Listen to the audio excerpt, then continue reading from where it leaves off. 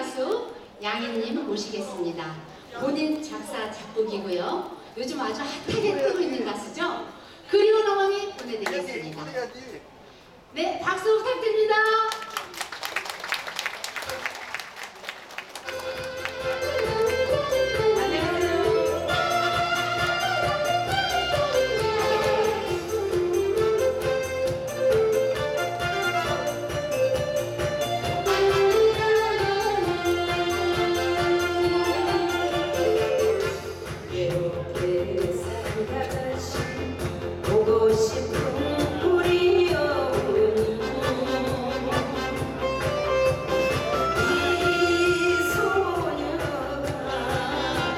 Thank you.